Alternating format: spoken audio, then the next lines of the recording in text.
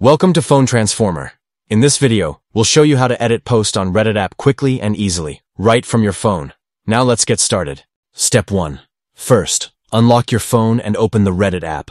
Make sure you're logged into your Reddit account so everything is in sync and ready to go. Step 2. In the main menu, look at the top of your screen and tap your profile icon.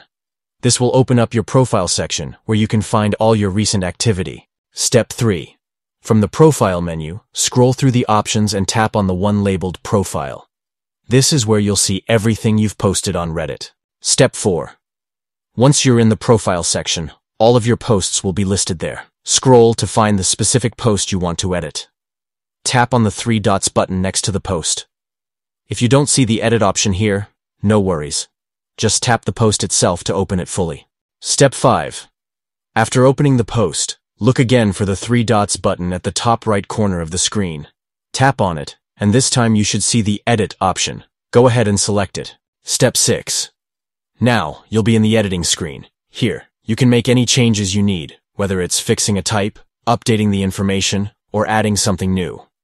Once you're done, just tap the Save button at the top, and that's it. Your post is now updated successfully. Thanks for watching and please subscribe to the channel.